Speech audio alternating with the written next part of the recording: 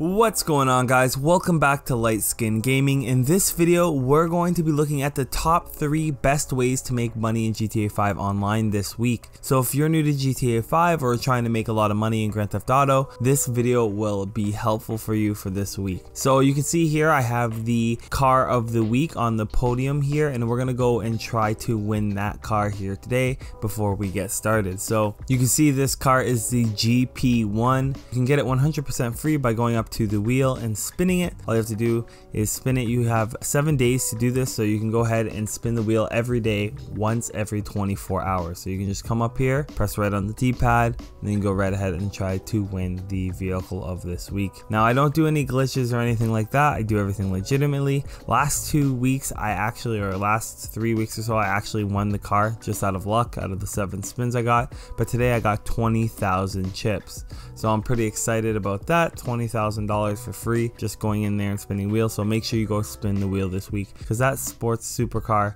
is definitely worth your time. For the first best way to make money in Grand Theft Auto 5 online is you're going to want to go ahead and do this week's time trial. If you're one of my longtime subscribers, you know I love doing time trials and this week's time trial is Stab City, which is in the northern part of the map. So you just want to go ahead, start the time trial, put your waypoint down on the destination and then restart the time trial by holding the button you use to get onto the vehicle. Once you've done that, you're going to want to start the time trial. A few key tips is you're going to want to start halfway out, halfway in of the circle, giving that little bit of a split second chance. I am using the Bati 801 for this time trial. You can purchase that in the internet app at sandreassuperautos.com. Very easy to go ahead and purchase a vehicle at $15,000. And when you have the upgrades on this vehicle, it makes this time trial way, way easier. So if you don't have the upgrades, it might be be a lot more difficult. I got this time trial on my first try, so I highly, highly recommend you guys go ahead and attempt this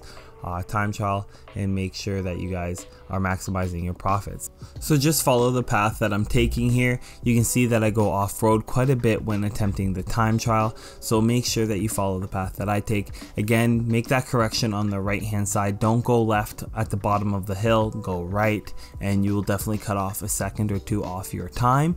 But yeah, just make sure that you I highly recommend that you bring some snacks with yourself. Just make sure that you are fully healed because if you crash and fall off your bike and die it's very annoying to get back to the time trial when you die because you will fail and have to drive or fly all the way back. So make sure you're full health as well as again you can always restart the time trial. If you fall off your bike just hop back on the bike within the time frame it gives you and then hold the button it takes you to get onto the vehicle and it will bring you all the way back to the beginning of the time trial so you can try again. And again I got it on my first try so it shouldn't be too difficult for new players to complete. Um, definitely definitely an easier time trial to complete compared to some of the others out there.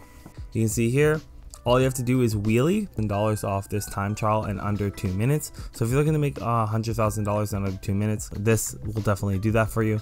I beat the time trial in under two minutes. I think it was like a minute and 51 seconds. So definitely worth your time in money. Now for the second money making method is motorcycle club businesses. Now this week motorcycle club businesses are two times the money. Yes guys, two times the profits. You are paying the same amount of money for supplies, but you are making double the money off of it. So today I chose to run the counterfeit cash because I didn't have a full one. I had a one and a half bars ish. If you're a solo player, sell at one and a half bars for your stock level. This will make sure that you have one vehicle or two easy vehicles to transport. So selling at one and a half bars in your supply bar will help you guys do that. I will make a motorcycle club, how to make millions with a motorcycle club video in the coming weeks here. Um, but this is definitely something I recommend new players and advanced players take advantage of two times the money on these missions are super super effective because listen you don't have to do any work. You buy the supplies once you have the upgrades on it. All you have to do is buy the supplies sit in your butt wait and then sell. For two times the money you're gonna see here I am supposed to make around 180,000 but some douche on a Mark II oppressor decides to go ahead and blow me up but that's fine. I don't blame him. He's a low level. He got a Mark II oppressor by glitching, so I can't expect anything less. It's GTA 5. Like, I'm in a public lobby. That's what I get. So if you guys are going to do that, go ahead and make sure that you guys are actually in public solo lobbies if you don't want to deal with griefers. I don't really mind it. I get it. I was a griefer. I think it was fun. Um, so, oh well. To get into public solo lobbies, you're just gonna have to either unplug your Ethernet cable. You can look that up. I don't post glitches and stuff like that, but I do recommend going into a public solo lobby because griefers can just be a pain in the butt. If it makes you guys feel any better, I killed this guy until he left the lobby, so no big deal. So that was an easy $134,000 in the bank. Now we're going to move on to my third and last top best way to make money in Grand Theft Auto 5 online, and that is the deadline missions. Now all you have to do is press start, go to online, then go to jobs, and then you're going to want to hit adversary mode or adversary mode, whatever you want to say, tomato, tomato, I don't really care. But you want to go there and then go to deadline.